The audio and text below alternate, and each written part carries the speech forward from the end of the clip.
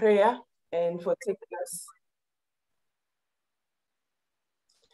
and for taking us to the throne of grace.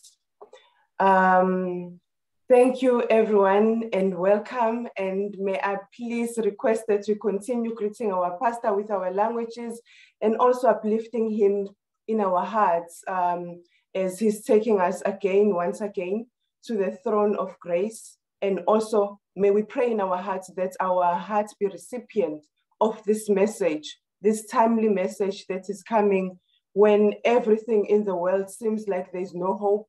He is giving, he's here to give us new hope, that there is hope in Jesus, only if we do his will. Pastor, may you please take us to the throne of grace. This is your time. Amen. Amen. Thank you so much. Um, my sister, uh, Sanbonani, I greet you all in the name of our Lord and Savior, uh, Jesus Christ, this morning. Amen. Um, we are on Friday. I heard it's Spiritual Friday. And uh, this morning we are going to be speaking about uh, spiritual Babylon. Spiritual Babylon. And we are in Revelation 14 now, verse 8. And the, the Bible says here, and another angel followed them, saying, Babylon is fallen, is fallen, that great city, because she made all nations drink of the wine of the wrath of her fornication. So here, the Bible speaks of the fall of Babylon. And we are going to learn what the Bible exactly means when it says that Babylon has fallen. All right. This statement is actually taken from the Old Testament in relation to, uh, to literal Babylon, all right, to literal Babylon that existed in the Middle East. We know the, how the children of Israel went into captivity into Babylon. Um, now, this statement of the fall of Babylon is not now speaking about the literal Babylon, but it is speaking about the spiritual Babylon at the end of time. Now, the question is who is this spiritual Babylon? And what does the Bible mean when it speaks about all nations have drunk of the wine of the wrath of her fornication? That's what we will seek to answer this morning. And it's very important for us as we answer this question to go to chapter 17 chapter 17 of the book of revelation. Excuse me i realized that i'm running out of battery and i had not put my battery on power. All right uh, my computer on power excuse me revelation chapter 17 the bible speaks here of a woman. And the Bible says in verse chapter 17, and there came one of the seven angels, which had the seven um, bowls, and talked with me, saying unto me, Come here, I will show you the judgment of the great whore that sits upon many waters, with whom the kings of the earth have committed fornication, and the inhabitants of the earth have been made drunk with the wine of her fornication. Now, I want you to notice the language that is similar here in chapter 17 to chapter 14. The Bible tells us that this woman has committed fornication with the kings of the earth. All right. And the inhabitants of the earth have been made drunk with the wine of her fornication. Again, you see the wine of her fornication. The Bible says uh, she has made all nations drink of the wine of the wrath of her fornication. So we see that this is speaking about the same power. Go with me to verse 5. The Bible says, um, and upon her forehead was written, Mystery, Babylon the Great, the mother of harlots and abominations of the earth. Now, here the Bible is makes it clear that this Babylon is a, a woman, and this woman is actually a harlot, and she's not only a harlot, but she is the mother of harlots and the abominations of the earth. And there's something mysterious about this woman. You can see her, but still there are some things that are mysterious about this woman. All right. So this woman here is, is, is, is representative because now we're talking about symbolic language. This is what we are looking at. Um, apocalyptic prophecy is usually uh, comprised of symbolic language, which the Bible itself, either in the apocalyptic prophecy itself or in other places in the Bible, um, actually uses. Now, what does the Bible speak about when it's speaking about a harlot um, or a whore? I'm sorry for using this language, it seems strong. Uh, but uh, uh, these are words that are used for a sexually immoral woman. And like I said, it is not a literal woman, all right? It is not a literal woman, but what does this symbol really signify? Now, if you remember, in the Old Testament, God actually used a symbol of a woman to represent his people. All right. Um, in Isaiah, he says, Thy maker is thy husband. All right. Um, in the same book of Isaiah, the Bible says, I have likened the daughter of Zion to a comely and delicate woman. And then the same prophet says, Zion, you are my people. So here we see that uh, the Bible teaches that a hollow, uh, sorry, a, a woman represents God's people. But then, how does it happen that um, God's people can be called a harlot? All right, we see in the book of Hosea that Hosea is actually told to go and, uh, and marry a woman of the harlots in Israel. And after this call is made, and he marries this woman, and she bears children, and then she leaves Isaiah and goes and prostitutes herself to other men. And then God uses this, and then he, he goes to, to him and tells him, Go back again to that woman and marry her and take her to yourself uh, as, as, as your wife, or take her back as your wife. And in this symbol, God was showing his relationship with the children of Israel and how what the children of Israel were doing in going into apostasy, in going into idol worship, in going into all these other forms of idolatry and of committing fornication spiritually with the gods of the other nations and uniting themselves with the other nations. So here we see that the symbol of a harlot is actually a symbol of God's people or a church in apostasy. This is what we see in the Old Testament. Now, when you come to the book of, of, of, I mean, to the New Testament, you see something similar.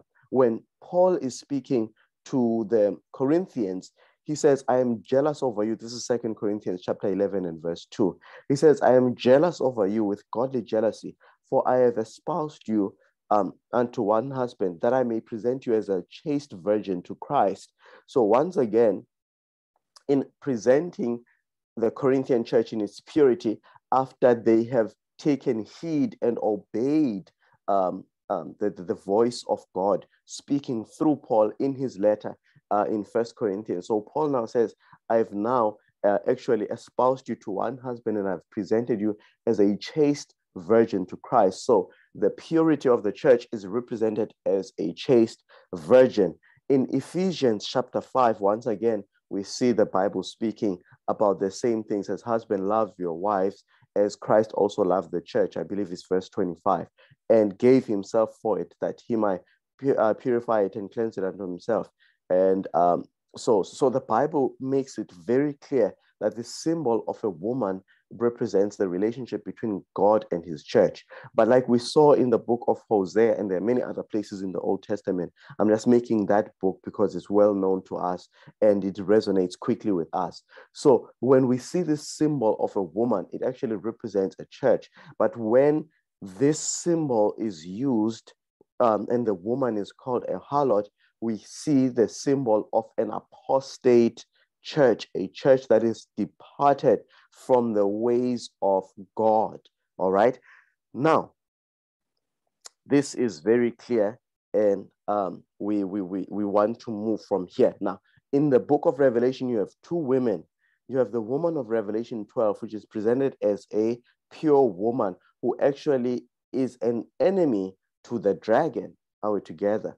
The dragon hates this woman, he persecutes this woman, and at the end, he persecutes the remnant of her seed.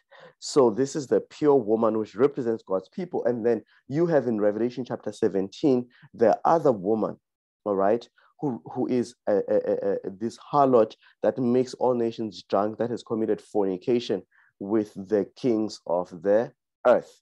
All right. So you have that contrast. So the book of Revelation, especially in apocalyptic books, there's always this contrast between the good powers and the evil powers, the good powers and the evil powers. And this is what we see. So the true church of God in the book of Revelation is represented as the pure woman. And the apostate church of Revelation chapter or of, of Revelation is seen in chapter 17 being the harlot woman.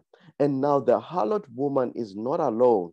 She actually has daughters who actually follow her lead, who follow her direction. So he has other churches that have followed her example. Are we together, friends? They have followed her example. Now, there's something that is worth noting uh, in this Revelation chapter 14. And um, in Revelation chapter 14, the first angel's message is spoken with a loud voice. The third angel's message is spoken with a loud voice. But the second angel's message is not spoken with a loud voice. And I'm going to share with you the reason why. All right. I'm not, I'm not going to share it right immediately, but I'm going to share it now. When you're looking at this, uh, this apostate woman or this apostate church in Revelation chapter 17, he, uh, she has daughters. All right. In chapter 16, you will notice that when the, the, the, the sixth angel pours out his vial, you know, there are uh, actually unclean spirits that come out of the dragon and out of the beast and out of the mouth of the false prophet. So you will see that the Babylonian power is actually um, um, divided into these three throughout the book of Revelation, especially from chapter 12 to um, around chapter 20 or chapter 19, where it's very clear. All right, so there's this working together of the dragon, the beast, and the false prophet. And we know, of course, the dragon is Satan, but the power that, uh, but the dragon represents the powers through which Satan worked. And in this line of prophecy, you see that the Roman Empire is the pagan Roman Empire is actually the one that the symbol of the dragon starts out by representing in chapter 12. But then, of course, you see that there is a transition to when it transitions from pagan Rome to papal Rome or the Rome of the popes or what became the Holy Roman Empire. All right. But then you see in chapter 13, this is made clear now how this happens. The symbol of the dragon and the first beast are actually separated. So the first beast received his power seat and great authority from the dragon. All right. And then later on, you see the second beast, who is also called in chapter 19, the false prophet who works miracles before the first beast. So the second beast of Revelation 13 also receives all the power of the first beast. But where did the first beast get his power? He got it from the dragon. And how does the second beast um, later on speaks? He speaks as a dragon. All right, so I want to paint this picture clear in your mind. So you have Babylon that is divided into the pagan powers of the world, into the papal Roman Empire, and then you have the false prophet, which is apostate Protestantism, which will give rise once more to the first beast of Revelation 13. And we are starting to see how that is possible, friends. We are starting to see how that is possible because we remember through a man who was coming from the Lutheran church, a bishop called Tony Palmer. We saw Pope Francis calling the, the, the, the Protestants back home to Rome. He said that the protest is over. And this man, Tony Palmer, who was a Lutheran, gave evidence as to why the protest is over and that Catholics and Protestants can speak with one voice. And the success of this movement was such that where two, more than 200 evangelicals and and and and and and and and, and um and other uh, other types of Protestants, including the charismatics. Um, it, this happened, uh, of course, at Kenneth Copeland's church, actually accepted the message of the Pope for the Protestant churches to go back to Rome. And a meeting was actually um, organized where they went to Rome to meet with the Pope to solidify this reunification of the Roman Catholic Church and the Protestant churches, which I will refer to as apostate Protestant churches. Because if you understood the, the, the, the, principles of Protestantism and some of the principles that were there in the 95 Theses when Martin, when Martin Luther was protesting against the abuses of Rome, you will notice that it, it, it was not only about the issue of justification by faith, even though justification by faith was central, there was also other issues like sola scriptura, the Bible and the Bible alone, the mere fact of tradition and Sunday worship in the Roman Catholic Church is evidence that they do not respect sola scriptura, but they go not only by the Bible, but also by the traditions of the church. All right, and they are very clear in that.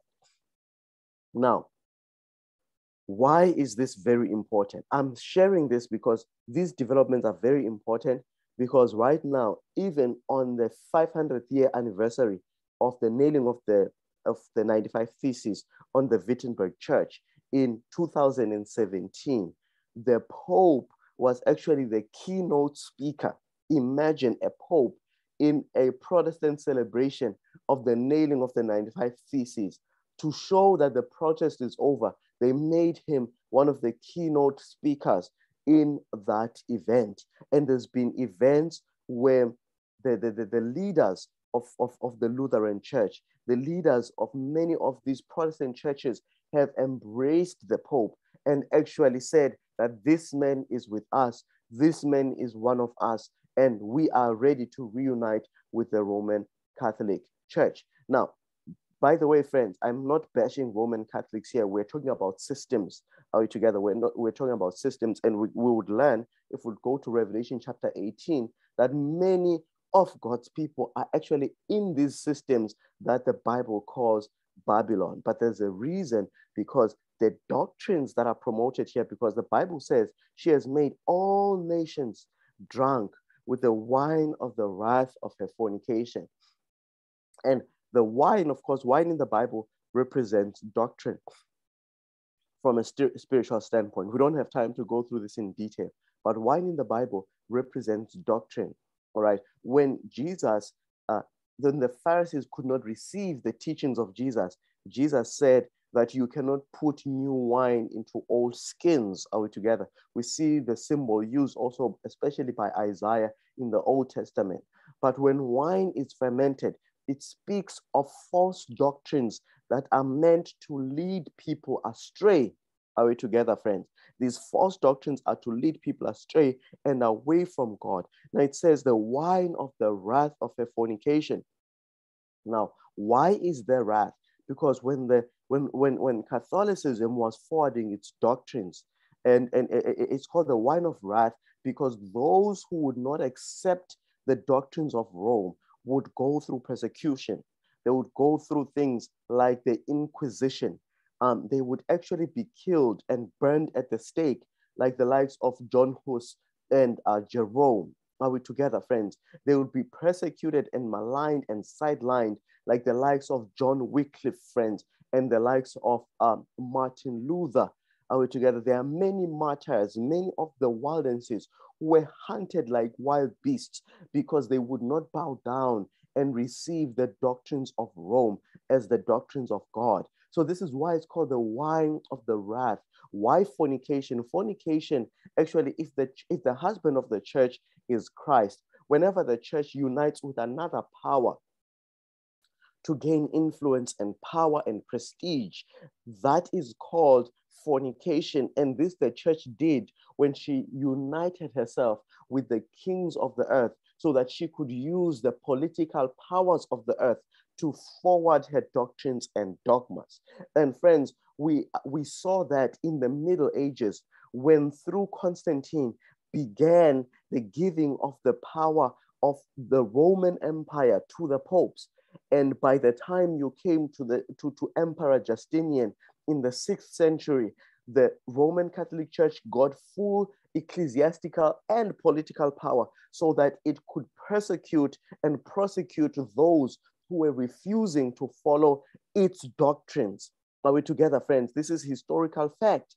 And we, we are seeing a resuscitation of that. We are seeing once again that this power that is called Babylon is regaining power and strength day by day.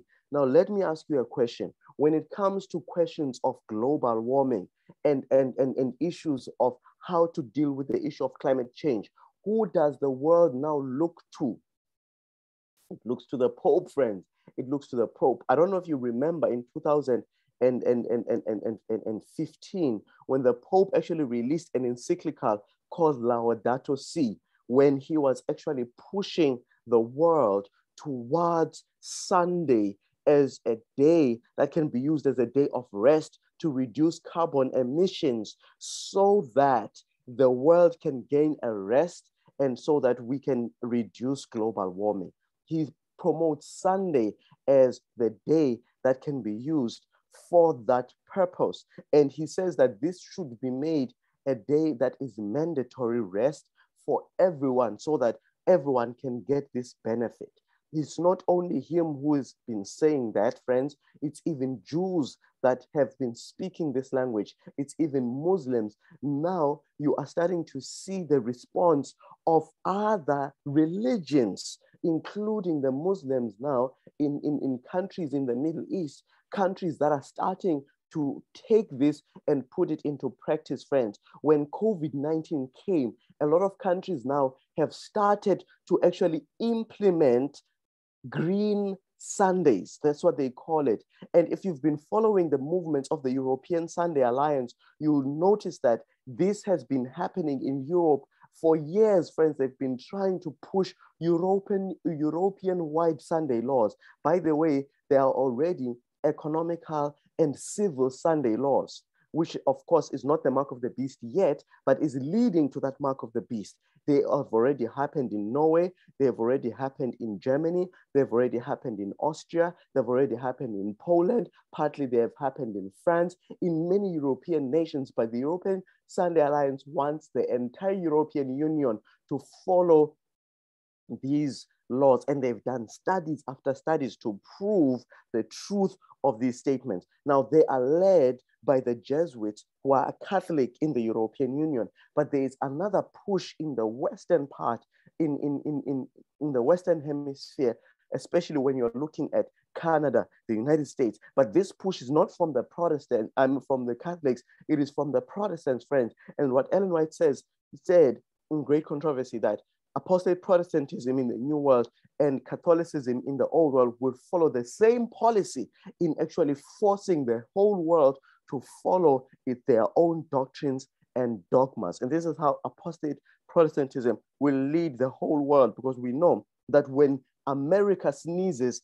the whole world catches a cold. So we know that these Sunday laws, especially when it comes to the restrictive Sunday laws, where we are restricted from keeping the Sabbath and we are forced to keep Sunday holy, we know that that will begin in the United States of America and will go through the whole world. But there is a preparation process to that, to where we get to that point. So the Bible tells us that we should be warning people that Babylon has fallen, has fallen, that great city, because she made all nations drink of the wine of the wrath of the fornication. Now, the new movement that began last year, that I believe might also be part of facilitating this process, especially the economic part of Sunday laws. We are going to see this. It is happening in the World Economic Forum, where they are calling for a great reset of the world's economies. And by the way, if you listen to that and you read it in details, if I had time, I would show you that. But there is a, a, a, a conversation that I had with one individual on the web, in, in, on Facebook, where we were talking about this to show that the ideas of the Great Reset are actually straight from Pope Francis. They're not coming from these people, they're coming from Pope, Pope Francis. Are we together? And, and, and so we see that we're going to the Pope for ideas on how to fight climate change. We're going to the Pope on how to actually reset the economies of the world so that they are more responsive to things like pandemics and all of those things. We're going to the Pope for everything. And what is the papacy going to do? Once it, it regains fully that power and that trust in the world, it is going to unleash its plan, which is to bring the whole world back to Rome. And this is what we see in the book of Revelation, chapter 17. We don't have time to go through that, but this is what we see where the kings of the earth actually gave, give their power to the beast. And through that power, the beast makes war with Christ through the person of his people. May God help us because we have not followed cunningly devised fables. God is showing us that what he has told us all these years is beginning to come to pass. And when these things begin to come to pass, friends, it is not time to fear. It is time for us to look up for our redemption draweth nigh. May God bless us and may God keep us. Let us pray together. Father in heaven, we are living in momentous times. And we ask that you may awaken us to what is happening right before our eyes. And may we know what Israel ought to do as the children of Issachar did. We're coming towards the close of this series, and we ask that your Holy Spirit may continue to lead and guide us, and that these messages may spread like the leaves of autumn. We thank you, Lord, that you are hearing this prayer, for we've prayed in the name of Jesus. Amen.